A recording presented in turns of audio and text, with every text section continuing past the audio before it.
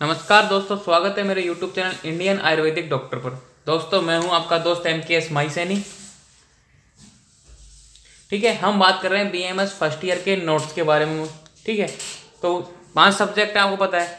Sanskrit physiology anatomy पदार्थ विज्ञान और अष्टांग हृदय ठीक है, अब मेरे पास ज़्यादा से ज़्यादा कमेंट आ रहे हैं कि, सर नोट्स अवेलेबल कराओ लेक्चर्स वीडियो अपलोड करो। तो जब भी मैं लेक्चर्स वीडियो अपलोड करता हूँ तो एक प्रॉब्लम आती है। प्रॉब्लम क्या होती है? सबसे बड़ी कि मैं नोट्स लिखवाता हूँ आपको तो उसमें वीडियो क्या काफ़ी लॉन्ग हो जाता है। तो स्टूडेंट बोलते हैं कि यूट्यूब पर कोई ऐसी सुविधा भी नहीं है कि इसको फास्ट करके चलाया जा सके। आप नोट्स भी लिखवाते हो, साथ में स्टडी भी करवाते हो तो हमको काफ़ी टाइम लगता है। तो एक टॉपिक कवर होने में कम से कम तीस से पैंतालीस मिनट लग जाते हैं। तो इन चीज़, इस टाइम को बचाने के लिए मैं क्या कर रहा हूँ, पहले आपको नोट्स उपलब्ध करा रहा हूँ। सबसे पहले मैं संस्कृत के नोट्स उपलब्ध कराऊँगा, ठीक है? उसके बाद में फिजियोलॉजी के, फिर एनाटोमी के, पदार्थ विज्ञान के, अष्टांग हृदय के।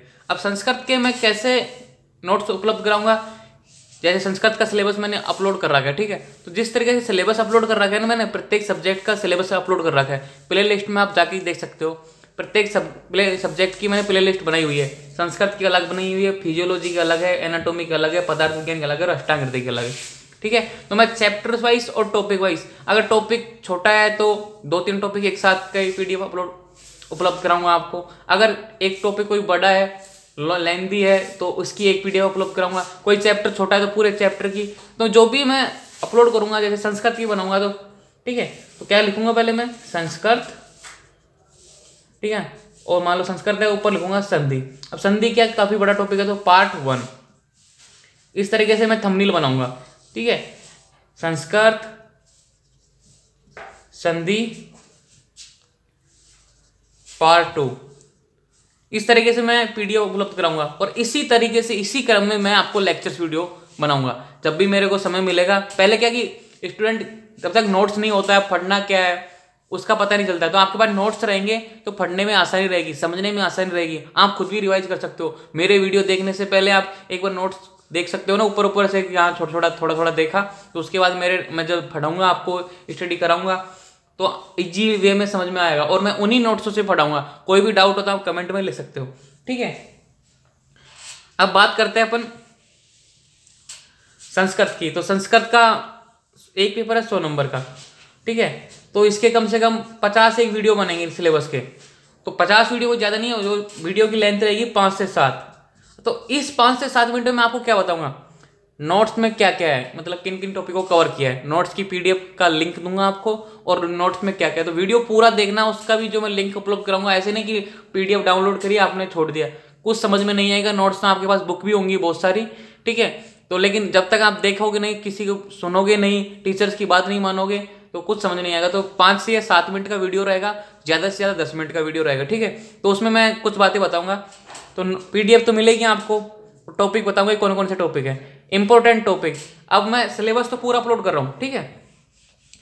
पूरा पूरा सिलेबस अपलोड किया मैंने। अब उसमें से इंपॉर्टेंट इंपॉर्टेंट कौन सा टॉपिक है? जैसे मैंने संधि किया संधि में कौन सी संधि इंपॉर्टेंट है? कि स्वर संधि है, व्यंजन संधि है, विसर्ग संधि है। तो इस तरीके से मैं इंपॉर्टेंट टॉपिक बताऊँगा उस पीडीएफ में कि इस पीडीएफ में ये टॉपिक है, इनमें से इंपॉर्टेंट यही है तो आपको याद करना ही है। ठीक है? फिर आल सिलेबस कवर मैं एक भी टॉपिक नहीं छोड़ूँगा। चाहे वो संस्कृत का हो, चाहे फिजियोलॉजी का एनाटॉमी का हो, पदार्थ विज्ञान का चाहे अष्टांग को सीक्वेंस वाई क्रम वाई तरीके से प्लेलिस्ट अलग अलग बनाई हुई है। तो मैं प्ले प्लेलिस्ट के अनुसार अलग अलग वीडियो अपलोड अपलोड करूँगा, ठीक है? तो आल सिलेबस कुछ नहीं छूटेगा आपको तो नोट्स की टेंशन खत्म आपकी। क्योंकि बार बार कमेंट आते हैं ना कि, सर, आप लेक्चर वीडियो नहीं बना तो नोट्स की पीडीएफ भेज दो। ये कमेंट्स आते हैं मेरे पास ज़्यादा से ज़्यादा की कि नोट्स उपलब्ध कराओ नोट्स उपलब्ध कराओ। तो इन सबसे बचने के लिए मैंने एक सबसे अच्छा और आसान तरीका बताया कि मैं सबके सीक्वेंस भाई सबसे पहले मैं संस्कृत की बात करूँगा। तो संस्कृत में कि जितने भी पचास वीडियो के लिए हो जाएगा। फिर फिजियोलॉजी की फिजियोलॉजी का आयुर्वेद पोर्सन है फ़र्स्ट का फिर मॉडर्न है, फिर सेकंड का आयुर्वेद पोर्सन है, फिर सिलेबस के अनुसार चलूँगा मैं। देखो सिलेबस समझ में आएगा आपको तो अच्छी तरीके से। तो सिलेबस देखना वीडियो अपलोड किए हुए हैं मैंने सिलेबस के। एनाटोमी की इसी तरीके से फिर पदार्थ विज्ञान के नोट्स उपलब्ध कराऊँगा। कुछ हैंडमेड भी है, कुछ बुक्स के भी है। तो मतलब जो अच्छा अच्छा है ना, जो मेरे को अच्छा लगता है इजी वे में आपको समझ में आएगा उस तरीके से। मेरा अष्टांग हृदय कि मैंने ऐसे पीडीएफ अपलोड उपलब्ध करा देगी लेकिन इसमें थोड़ा संशोधन करके मैं इंपॉर्टेंट कोटेशन जो श्लोक बोलते हैं, ठीक है, उनको बताऊँगा और कौन कौन से इंपॉर्टेंट टॉपिक है वो भी बताऊँगा। अलग अलग चैप्टर के, तीस चैप्टर में तीस चैप्टर के अलग अलग पीडीएफ मिल जाएगी आपको। ओके अब हम बात कर रहे थे कि नोट्स तो मिलेंगे इंपॉर्टेंट टॉपिक बताऊँगा और आल सिलेबस कवर करूँगा। हम बात कर रहे हैं फिर प्रश्न का तरीका। उस टॉपिक में से, उस पीडीएफ में से कौन कौन से क्वेश्चन बन सकते हैं, जो आपको प्रैक्टिकल में थ्योरी में, या फिर बाहर नॉलेज जनरल जैसे चिकित्सा करते समय कौन सा यूज़ तो उन सब के बारे में बात करेंगे उस पीडीएफ में। तो आपको क्या कि समझ में तो आ ही जाएगा हमको बस रीडिंग करनी है पीडीएफ डाउनलोड करने के बाद और समझना है। और जब भी मेरे को टाइम मिलेगा और आपको टाइम मिलेगा, मेरी वीडियो देखना मैं लेक्चर्स भी उपलब्ध कराऊँगा आपको जो अच्छी तरीके से तो आपको डबल फ़ायदा हो जाएगा। और बहुत कुछ बात करेंगे बीच बीच में अपन बहुत सारी बातें कर ले जाएँगे, आयुर्वेद के बारे में। तो उन नोट्स के उपलब्ध कराऊँगा तो उन्हीं वीडियो में रहेगा कि पाँच से जो सात मिनट का वीडियो रहेगा ना, ऐसे नहीं कि आप डिस्क्रिप्शन में गए लिंक पे क्लिक किया पीडीएफ डाउनलोड की वीडियो को देखा ही नहीं। तो ऐसा मत करना, नहीं तो आपका ही लॉस है। आपको कुछ समझ में नहीं आएगा, क्योंकि किताबी भाषा समझना बहुत मुश्किल होता है। अगर मैं आपको, मेरे हाथों से बने हुए नोट्स उपलब्ध करा दूँ, फिर भी आप समझ लोगे।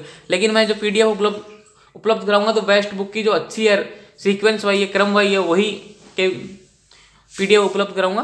तो इसलिए पाँच से सात मिनट का वीडियो पूरा ज़रूर देखना। और रही बात, ये कितने दिनों में हो जाएगा, संस्कृत फिजियोलॉजी एनाटॉमी पदार्थ विज्ञान, अष्टांग हृदय? तो देखो, प्रत्येक सब्जेक्ट कम से कम पचास पचास वीडियो तो बनेंगे, क्योंकि अब मैं एक वीडियो में पूरा सब सिलेब पी उपलब्ध करा दूँ आपको। तो ऐसा तो है ही नहीं कि आप कि अपन इम्पोर्टेंट टॉपिक एक साथ बता दें आल सिलेबस को और एक साथ कर ले, नहीं, प्रश्न कैसे आते हैं? तो इनके लिए अपन को अलग अलग बनानी पड़ेंगे। इन सब बातों के लिए मैं अलग अलग टॉपिक की पीडीएफ बना रहा हूँ, ठीक है? तो वीडियो को पूरा देखना, जब भी मैं शुरू करूँगा आई होप मैं आज से स्टार्ट करूँ।